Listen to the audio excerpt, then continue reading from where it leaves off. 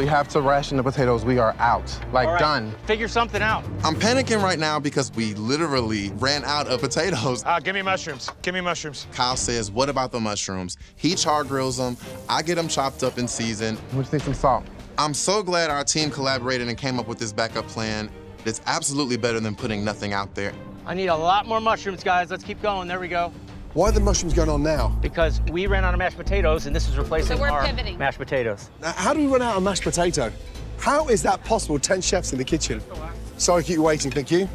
We've run out of mash. My apologies. Thank you. Now. Thank you. Enjoy. Thank you. Thank you. Thank Thanks for your you so much. Wait, wait, no mashed potatoes? Did they run out? What happened? They apparently didn't have any when we got up there. But you're the only one who gets to try them. I am. Oh, geez, I'm sorry about that.